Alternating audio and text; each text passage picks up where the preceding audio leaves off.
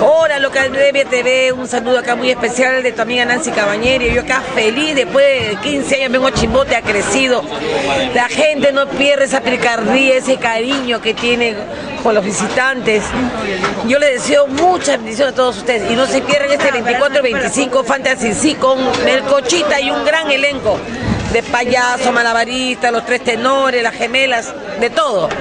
Dios me los bendiga, gracias.